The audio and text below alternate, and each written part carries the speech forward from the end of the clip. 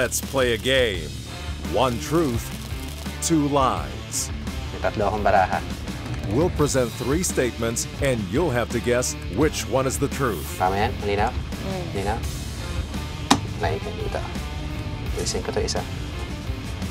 Isa. Game,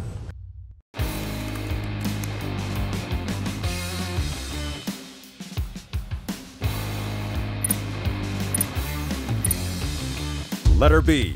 Confessional is the first feature film of Jerrold Tarog. In 2007, the mockumentary film bagged seven awards, including Best Picture and Best Director at the Cinema One Originals Awards.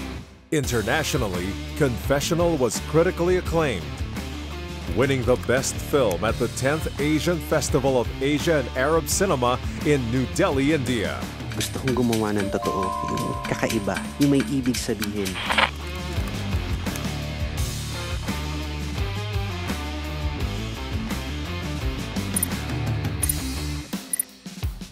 Letter A. Gerald Tarog is the same person as Ramon Ukit. Ba't sabihin mo ganamang ibawaan? Sino ka? Ramon Ukit is a Filipinized name of his favorite American fiction writer, Raymond Carver. He used this as a pseudonym in the end credits of his film.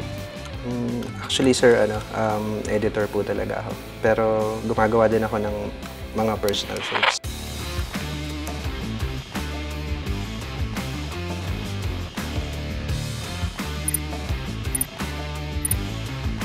Letter A.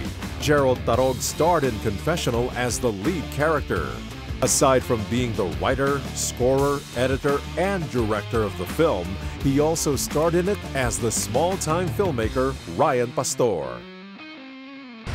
Ryan Pastor. Did you guess all three? Ryan Pastor. My confessor.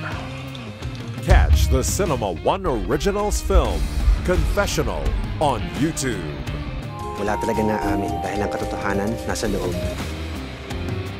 So, sinong sinungaling dito?